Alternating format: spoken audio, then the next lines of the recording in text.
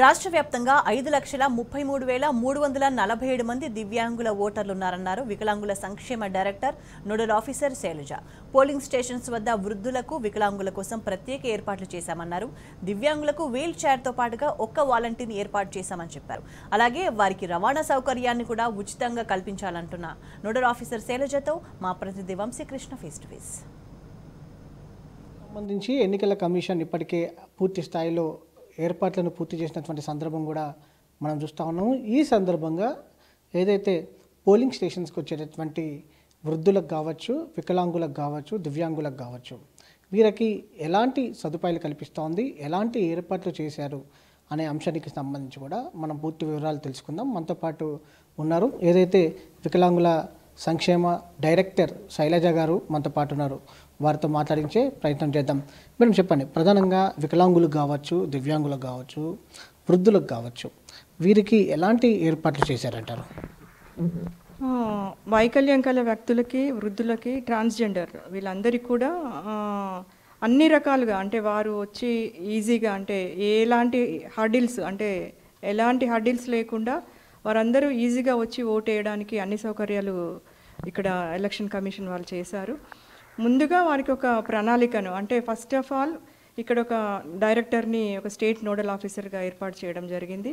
అదేవిధంగా ప్రతి జిల్లాల్లో ఒక ఆఫీసర్ని డిస్టిక్ నోడల్ ఆఫీసర్గా అంటే ప్రత్యేకంగా వీరి కోసమే వీరి సౌకర్యాల కోసము ఏర్పాటు చేయడం జరిగింది. అలాగే మేమందరం అంటే state state nodal officer election commission కలిసి ఒక జిల్లా ప్రణాళికని ఏర్పాటు చేశాము. అంటే వారి వారికి వారు ఎలాంటి వారు అంటే ఎలాంటి టైప్ ఆఫ్ uh, వ్యక్తులు ఉంటారు? వారికి ఎలాంటి సౌకర్యాలు కావాలి అనేది క్లియర్గా ఒక డిస్టిక్ యాక్షన్ ప్లాన్ ఏర్పాటు చేసి డిస్టిక్ కలెక్టర్స్కి పంపించడం జరిగింది.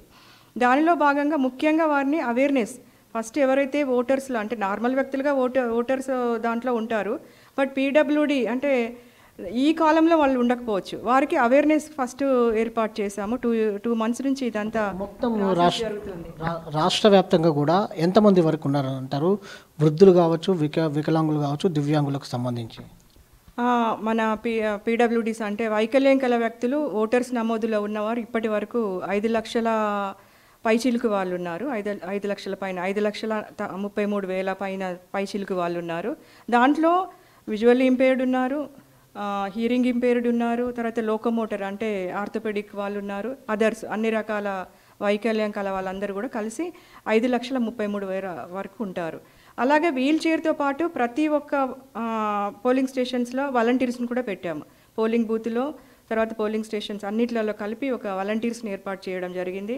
వాలంటీర్స్కి ఇక్కడ ఎలక్షన్ కమిషన్ వాళ్ళు టీషర్ట్స్ని కూడా ఏర్పాటు చేశారు. అంటే వారు గుర్తించాలి వీళ్ళని చెప్పేసి టీ కూడా ఏర్పాటు చేయడం జరిగింది. వీల్ చైర్స్ అవైలబిలిటీ ఉంటుంది వారికి. తర్వాత హీరింగ్ ఇంపేర్డ్ వచ్చినప్పుడు వారితో ఎలా మాట్లాడాలి? అలాంటివి కూడా ఇక్కడ ఏర్పాటు చేశాము. విజువల్ ఇంపేర్డ్ కూడా ఒక ప్రత్యేకమైన సదుపాయాలు ఏర్పాటు చేశాము. ఫస్ట్ నుంచి కూడా అంటే ఓటు వేయడానికి ఎలా వేయాలి? అంటే ఓటు వేల వేయడానికి వెళుతున్నప్పుడు ఎలాంటి ఓటు వేయాలి? ఆ వీవీప్యాట్ అవన్నీ కూడా ఎలా చూసుకోవాలి? వీవీప్యాట్ మీద కూడా బ్రెయిలీలో నెంబర్స్ వేశారు. అలాగే డమ్మీ బ్యాలెట్ పేపర్ని కూడా ఏర్పాటు చేయడం జరిగింది. ఓటర్ స్లిప్స్ ఉంటాయి కదా వే ఓటర్ స్లిప్స్ కూడా డెబ్బై ఆరు వేల మంది మనకు విజువల్ ఇంపేర్డ్ ఉన్నారు మన రాష్ట్రంలో ఓటర్గా నమోదైన వాళ్ళు. వారందరికీ కూడా ఓటర్ స్లిప్స్ను మనం బ్రెయిలీలో ఏర్పాటు చేశాము.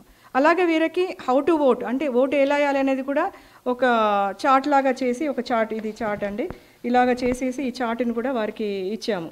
అంటే ఏర్పాటు చేసి ప్రతి జిల్లాలో కూడా వారికి అవగాహన సదస్సులు ఏర్పాటు చేసి వారు ఉన్నప్పుడు ఆ వివిప్యాట్ అవన్నీ కూడా అక్కడ ఏర్పాటు చేసి వీరు వెళ్ళినప్పుడు ఇదంతా చదువుకొని బ్రెయిలీలో ఇదంతా ఎలా చేయాలి ఎలా వెళ్ళాలి ఫస్ట్ బటన్ ఎక్కడ నొక్కాలి ఏం చేయాలి ఎక్కడ చేయాలి అనేది కూడా అన్నీ కూడా మొత్తం విజు వీళ్ళకి బ్రెయిలీలో ఏర్పాటు చేశాము. ఈ బ్రెయిలీలో వాళ్ళు చదువుకొని ముందే ఉంటాయి.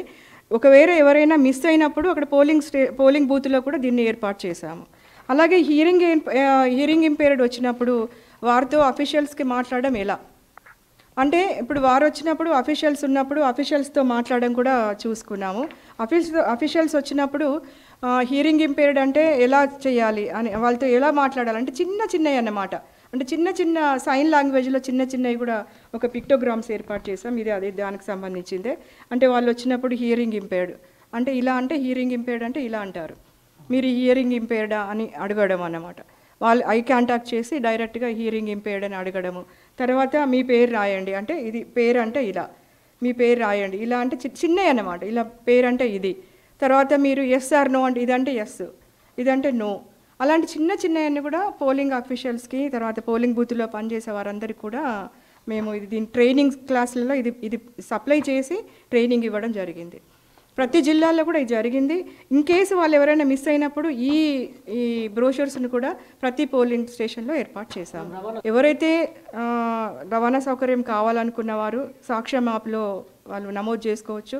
వీల్ చైర్ కావాలనుకున్న వారు కూడా యాప్లో నమోదు చేసుకోవచ్చు. అదే కాకుండా ప్రతి జిల్లాలో ప్రతి గ్రామంలో కూడా ముందే మన వీరందరికీ ఒక మ్యాపింగ్ అంటే అంగన్వాడీ కార్యకర్తలు కానివ్వండి ఎవరైతే ఉంటారో బిఎల్ఓ లెవెల్లో వాళ్ళందరినీ కూడా ఎక్కడైతే విజువల్ విజువల్ ఇంపేర్డ్ ఉన్నారు అంటే వైకల్యం కల వ్యక్తి ఉన్నారు ఆ ఇంట్లో ఎక్కడైతే వృద్ధులు ఉన్నారు ఎయిటీ ప్లస్ వాళ్ళు రాలేరు అనుకున్నప్పుడు ఒక మ్యాపింగ్ అనేది ఏర్పాటు చేసుకున్నారు ముందే. ఈ మ్యాపింగ్ చేసుకొని వీరందరినీ కూడా పికప్ చేసుకొని ఆటోస్ ఇలాంటి మోడ్ ఆఫ్ రవాణా సౌకర్యాలన్నీ కూడా ఏర్పాటు చేసుకున్నారు. దాంట్లో తీసుకొని పోలింగ్ బూత్కి వెళ్ళి ఓటు వేయించి మళ్ళీ ఇంట్లో దిగబెట్టే కార్యక్రమాన్ని కూడా మనం మొత్తం స్టేట్లో కూడా ఏర్పాటు చేశాము. మేడం మీరు నోడల్ ఆఫీసర్గా ఉన్నారు. వీరందరికీ కూడా వికలాంగులు కావచ్చు దివ్యాంగులు కావచ్చు మీరు ఇచ్చే సూచనలు సలహాలు ఏమంటారు? ఓటు హక్కును వినియోగించుకోవాలని కూడా మీరు ఎలా సూచిస్తూ ఉన్నారు వాళ్ళు? అందరికీ అన్ని రకాల వైకల్యం గల వారికి వృద్ధులకి మన సిఇఓ ఎలక్షన్ కమిషన్ తెలంగాణ వారు అన్ని సౌకర్యాలను కల్పించారు. అంటే ఓటు ఓటుకు మీరు వచ్చినప్పుడు తీసుకురావడానికి మీరు ఓటు వేయడానికి అంటే క్యూలో నిలబడకుండా సపరేట్ క్యూలో మీరు మిమ్మల్ని ఉంచి సపరేటుగా మిమ్మల్ని ఓటు వేయించి మళ్ళీ ఇంటి ఇంటికి దగ్గర దిగబెట్టే కార్యక్రమం వరకు. అంటే ఇంత సులభతరమైన ఓటు హక్కును వినియోగించుకోవడం ఇంత సులభతరమైన అవకాశాలను మీకు కల్పించినప్పుడు దయచేసి అందరూ కూడా ఆల్ అందరూ డిజేబుల్డ్ అందరూ వైకల్యం కల వ్యక్తులందరూ వృద్ధులు ట్రాన్స్జెండర్లు కూడా పెద్ద ఎత్తున కూడా మీరు ఈ ఈ సౌకర్యాన్ని ఉపయోగించుకొని అందరూ ఓటు వేయాలని చెప్పేసి నేను కోరుకుంటున్నాను. ఇది ఏదైతే వీరందరికి కూడా సకల సౌకర్యాలు కల్పించడంతో పాటుగా ఏదైతే పోలింగ్ స్టేషన్స్ వద్ద ప్రత్యేకమైనటువంటి ఏర్పాట్లు వీల్ చైర్స్తో పాటుగా ప్రత్యేకంగా వీరి కోసం వాలంటీర్స్ను కూడా ఏర్పాటు చేయడంతో పాటుగా రవాణా సౌకర్యం కూడా ఎన్నికల కమిషన్ ఏర్పాటు చేసినటువంటి నేపథ్యంలో వారందరూ కూడా ఓటు హక్కు వినియోగించుకోవాలని కూడా సూచిస్తూ ఉన్నారు. వీడియో జర్నలిస్ట్ సైదులతో వంశకృష్ణ టీ న్యూస్ హైదరాబాద్.